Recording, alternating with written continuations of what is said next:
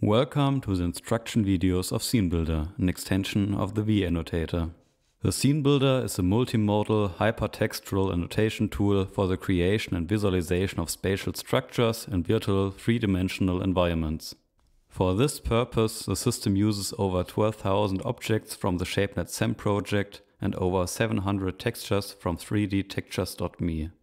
In the following videos, we will now introduce you to the individual functions and working methods of SceneBuilder, starting with the selection and opening of documents, through the creation of rooms, to the placement and scaling of objects.